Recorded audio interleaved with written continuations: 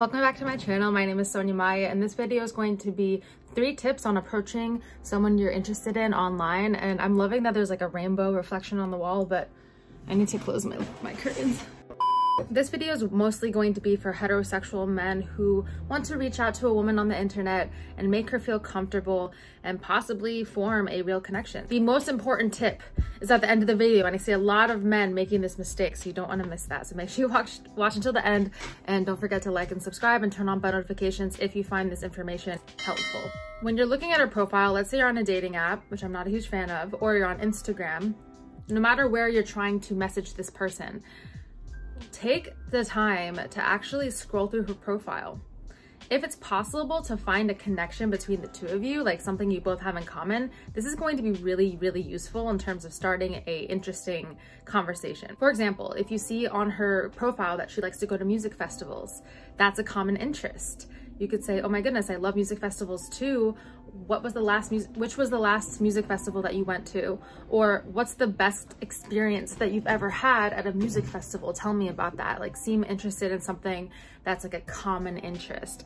You want to show your personality the most you possibly can, make her feel comfortable, and you wanna make it easy for her to respond.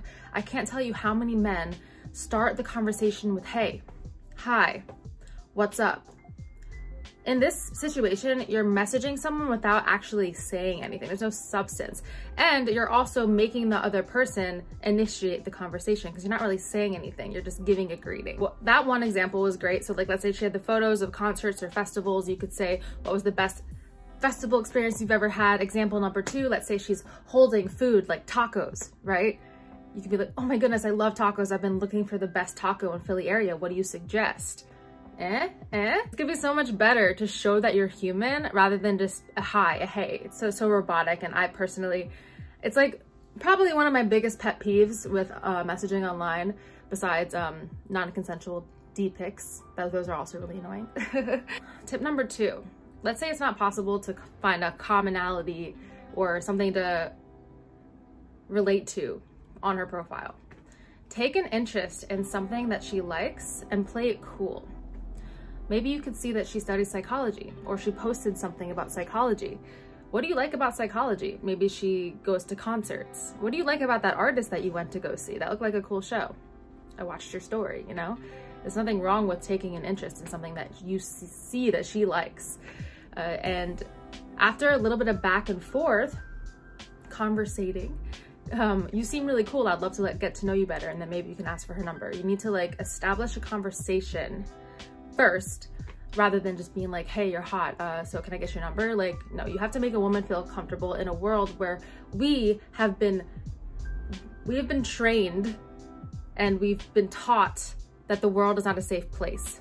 And the internet does not make that any better, okay? We have to be really cautious because there's so many predator-like mofos out there. So show that you're a real person and that you can be trusted and the best way you can, be human. When you're texting a woman that you don't know that well, you want to try to keep the same length in terms of like sentences. You don't have to go down to the word, but like if she's giving you a sentence or two, give her a sentence or two. Like an exchange of messages is like an exchange of energy. So if you're giving like her a whole paragraph and she's like giving you like a sentence or two, there's there's something imbalanced about the energy and like it sounds kind of silly to like really pay attention to that kind of thing, but there's been a lot of guys that have messaged me these like ridiculously long paragraphs or they'll ask me like a bunch of questions all in one so what do you do for work? Where are you from? Like, what do you, what are your hobbies? And like, they give me like a survey of things to answer. That's overwhelming. You want to take it one or two questions at a time and like really match the energy of the back and forth. That is really important if you think about it, because most people are not going to want to they're gonna feel overwhelmed by so many messages, so many questions, and it seems like kind of desperate. It comes off very desperate and, and, and uh, a little strange, in my opinion. Something that might be kind of hard to do is do your best to have positive expectations. You want to talk to this woman as if things were going to end in your favor. You might be jaded by your experiences and you maybe have not had very good experiences. Maybe hopefully this video will help you with that. Pretend that you know there's going to be a positive outcome and positive responses to what you're saying. And what you say and how you say it is going to kind of help monitor that It's also important to really think about before even messaging one anyone in general, make sure you know your value and what you bring to the table before approaching any woman. Because if you know your value, you know like I'm a great person and I could be this awesome partner for somebody and I'm goal oriented and you think about the positive qualities you have to boost your own self-esteem a little bit and boost your confidence before actually going into the situation because it's going to make you feel a lot better and knowing what you have to offer that's really important because relationships are all about reciprocity. I've been doing some research and I've found that apparently it's really attractive when somebody speaks directly. It shows dominance. So if you don't really know what that means, basically when you're saying something like more direct, you're saying it with more confidence and reassurance of what you want. So for example, instead of saying, could you possibly go on a date with me sometime? Or would you go on a date with me? You could say something like with an I at first. I would I would love to take you on a date because you seem like a really great person or a really cool girl, that kind of thing. Start it with I because it's like, I would love to take you on a date rather than could you possibly go on a date with me sometimes? Seems like a little bit less dominant and research shows that women a lot of the time are more attracted to men with like more dominance and confidence. So sometimes the way that you word things portrays this confidence and research shows that dominance in communication is more attractive than the, the opposite. And I also just read this study about when you actually meet the person, the way that you position your body can actually make a huge difference. It's been shown that an expansive posture can actually increase one's chances of initial romantic success. So like outspread limbs, taking up more space with your body is apparently more attractive. I just learned this today. Researchers say that open posture might hint dominance which is like when somebody has an open posture, they are seen as more desirable.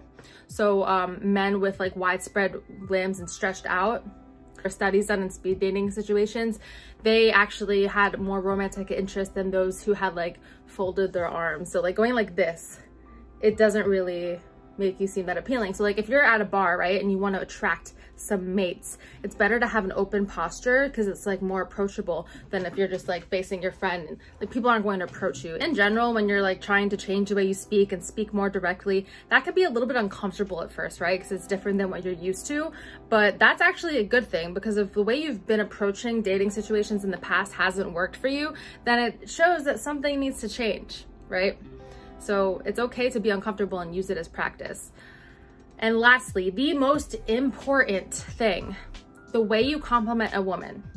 This is very important in terms of making her comfortable and showing your intentions. This is so crucial in how the interaction turns out and whether she's interested. Research actually shows that using metaphorical compliments can make men more attracted to women.